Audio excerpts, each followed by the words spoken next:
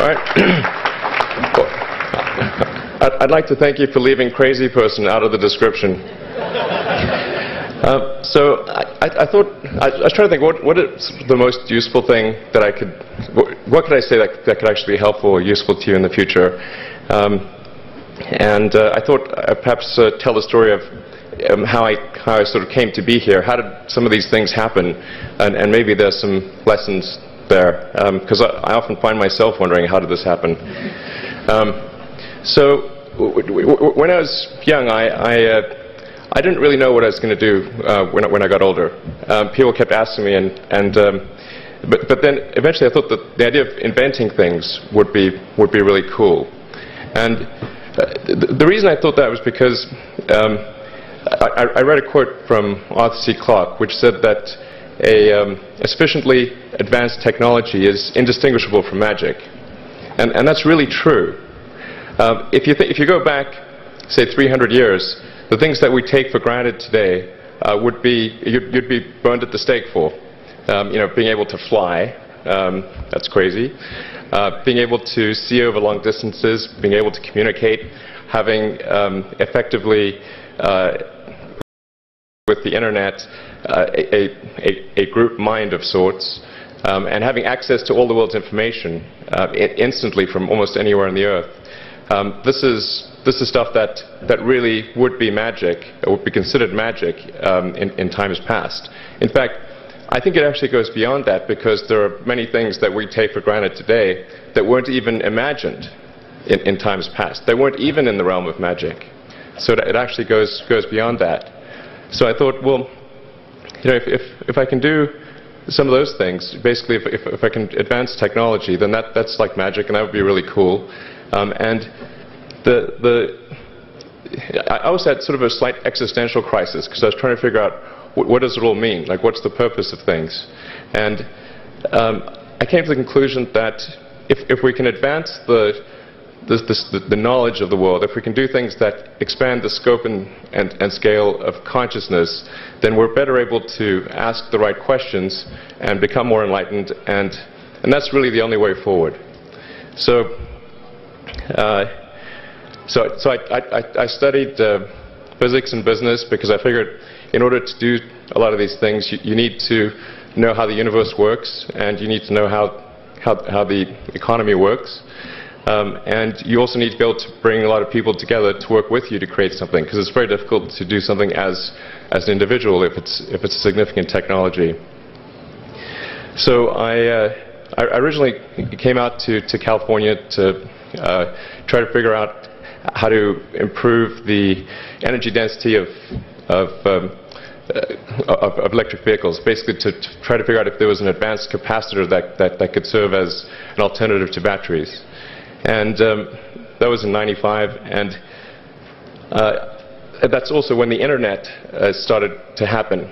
And, and it, I, I, I, thought, well, I can either uh, pursue this, tech, this technology where success may, may not be one of the possible outcomes, which is always tricky, um, or uh, participate in the internet and, and be, be, part of it. So I decided to, to drop out. Um, now, obviously, you, fortunately, we're, we're, we're, past graduation, so I can't be accused of recommending that to you. Um, and um, so, so did some internet stuff.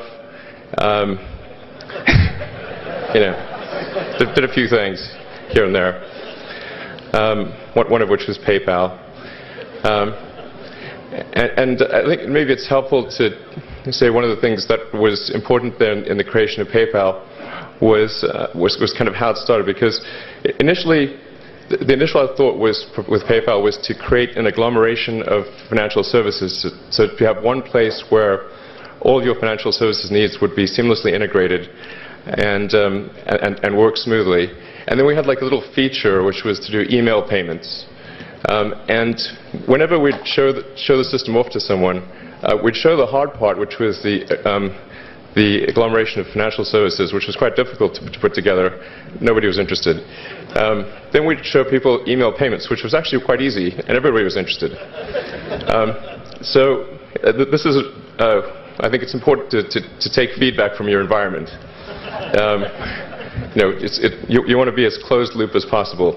Um, and uh, so we focused on email payments and really try to make that work, and, and that's what really got things to take off. Um, but, but if, we hadn't, if we hadn't responded to what people said, then we, we, we probably would not have been successful. So it, it's important to look for things like that and, and focus on them when, when, you, when you see them and correct uh, your, your prior assumptions. And then, okay, let's get some. Um, the, go, going from PayPal, I thought, well, what, what are some of the, the, the other problems that are likely to most affect the, the future of humanity? Um, it really wasn't from the perspective of what, what's the rank ordered best way to, to make money, um, which, which, is, which is okay, but um, it, it, was really what I think is going to most affect the future of humanity. So the, I, think the, the, biggest terrestrial problem we've got is uh, sustainable energy, but the production and consumption of energy in a sustainable manner. If we don't solve that this, this century, this century we're, we're in deep trouble. Um, and then the, the other one being the extension of life beyond Earth to make life multiplanetary. Um, so uh, that's, that's, that's the basis for the, the, latter is the basis for, for SpaceX, and the former is the basis for Tesla and, and SolarCity. Um, and, and when I started SpaceX, um, I, it, it, actually, initially, I thought that, well, there's, there's no way one could possibly start a rocket company. I wasn't that crazy. Um, but, but then uh, I thought, well, what is a way to um, increase NASA's budget? That was actually my initial goal. So I, I, thought, well, if we can do a low-cost mission to Mars, something called Mars Oasis, which would land seeds with, uh, with, with, with seeds in dehydrated nutrient gel, and you hydrate them upon landing, and then you'd have this great sort of money shot of green plants on a red background, and the, the, the, the, the public tends to respond to um, uh, precedents and superlatives. And this would be the first life on Mars, the furthest that life's ever traveled, as far as we know. And, and I thought, well, that, that would get people really excited and, and, uh, and therefore increase NASA's budget. So, so obviously, the, the financial outcome from such a mission would probably be zero. Um, so anything better than that was on the upside. Um, so I actually went to, I went to Russia three times to, to look at buying um, a refurbished ICBM. Uh, because th that, that was the best deal. Um, and uh, I can tell you it was very weird going there in, in 2000, late 2001, 2002, going to the Russian rocket forces and saying, I'd like to buy two of your biggest rockets, uh, but you can keep the nuke. that, that's a lot more. Um, and uh, that was 10 years ago, I guess, so um, they, they, they, they, they, thought I was crazy, but, but I did have money, so that was, that was okay. Uh, um, and after making several trips to, to Russia, I, I came to the conclusion that, that actually uh, uh, my, my, initial impression was, was wrong about, uh, that, because my initial thought was, well, that, that there's not enough will to explore and expand beyond Earth and have a Mars base and that kind of thing. But I came to the conclusion that that, that was wrong. Um, in fact, there's plenty of will, particularly in the United States, uh, because the United States is a nation of explorers, of people who came here from, from other parts of the world. I think the United States is really a, distil a distillation of the, the, spirit of human exploration. So, um, but, but if people think it's impossible, then, uh, or it's going to completely break the federal budget, then they're not going to do it. So after my third trip, I said, okay, well, what we really need to do here is try to solve the, the space transport problem, and uh, and started SpaceX. Um, and uh, this this was against the advice of pretty much everyone I talked to. Um, one friend made me sit down and watch a bunch of videos of rockets blowing up. um, let me tell you, he wasn't far wrong. Uh, think, think, it was it was tough going there in the beginning uh, because I'd never built anything physical. I mean, I'd built like little model rockets as a kid and that kind of thing, but um, I'd never had a company that built anything physical. So I had to kind of figure out how to how to do all these things and and bring together the right team of people. And um, and, and so we, we, we, did all that and, and then failed three times. Um, it, it, it, was tough, tough going. Um, because the thing about a rocket is that the, the, the passing grade is 100%. Uh, and uh, you, don't get to actually test the rocket in the real environment that it's going to be in.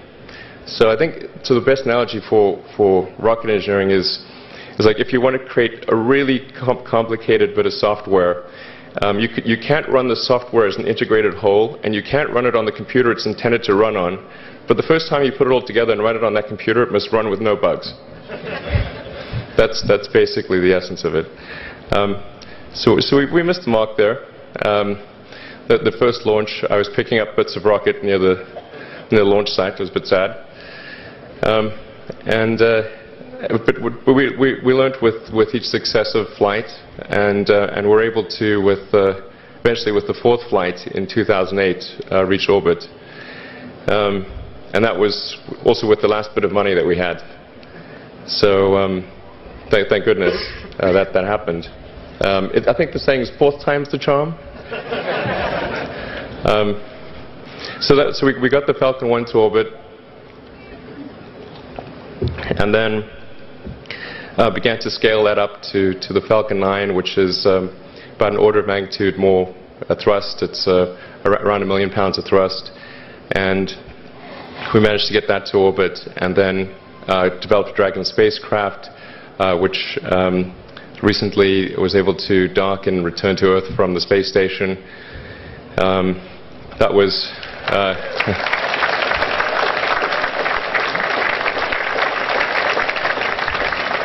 Thanks. that was a white-knuckled event. Um, so uh, yeah, it's a, it's a huge relief. Still can't quite believe it actually happened. Um, but, but there's a lot more that, that, that, that must happen beyond this in order for humanity to, be, to become a spacefaring civilization, ultimately um, a multi-planet species.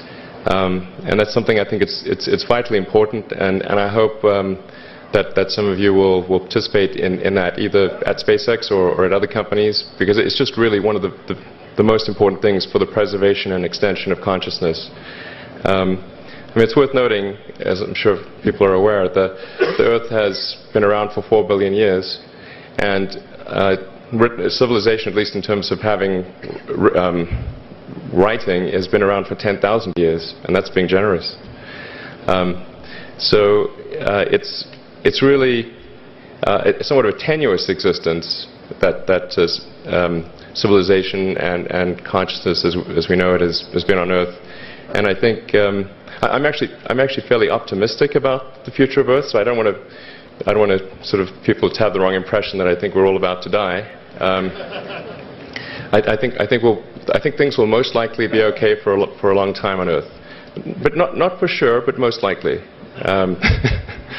Um, but, but even if it's, if it's sort of 99% likely, one, a 1% chance is still, it's still worth uh, spending a fair bit of effort to ensure that we have, um, we've backed up the biosphere, you know, planetary redundancy, if you will. Um, and, uh, and, so I think, I think it's really, really quite important. Um, and in, in, order to do that, th there's a breakthrough that needs to occur, which is to create a, a rapidly and completely reusable um, transport system to Mars um, which, which is one of those things that's right on the borderline of, of, of, of, of, of impossible. Um, but that, that's sort of the, the thing that we're, we're going to try to achieve there with, with, with SpaceX. Um, and then uh, on, the, on, the, on the Tesla front, uh, the, the, goal with Tesla was really to try to show that what, what electric cars can do, because people had the wrong impression. We had to um, change people's perception of an electric vehicle because they used to think of it as something that was slow and ugly and had low range, kind of like a golf cart. Um, and, and so that's why we created the Tesla Roadster to show that you can be fast, um, attractive, and, and long range. Um, and, and, it's amazing how, um, even though you can show that something works on paper, uh, uh, you know, and, and the calculations are very clear, until you actually have the physical object and they can, they can drive it, it doesn't really sink in for people. Um, and so that, that I think is, is something worth noting. If, if you're going to create a company, the first thing you should try to do is create a working prototype. Um, you know, everything, everything looks great on PowerPoint. you, can, you can make anything work on PowerPoint. Um, but if you have, a, if you have an actual demonstration article, even if it's in primitive form, that's much, much more effective for convincing people. So, um, so we, we, made the Tesla Roadster, and now we're coming out soon with the Model S, which is a, a four-door sedan. Uh, because after we made the Tesla Roadster, people said, oh, sure, sure, we, we always knew you could make a car like that. It's an expensive car, uh, and it's low volume, and it's small and all that, but you couldn't make a real car. Uh, like, okay, fine, we got to make that too. Um, so that, that's coming out soon. Um, and um, yeah, so that, that's, that, that's, that's the, I think the, the, the, the where, where, things are, and, and, and hopefully that there are some lessons to be, to be drawn there. Um, but um, I, I, think the, the, overarching point I, I, want to make is that um, you, know, you, you, guys are the, magicians of the 21st century. You know, um, don't let anything hold you back. Uh, imagination is, is the limit, um, and go out there and create some magic. Thank you.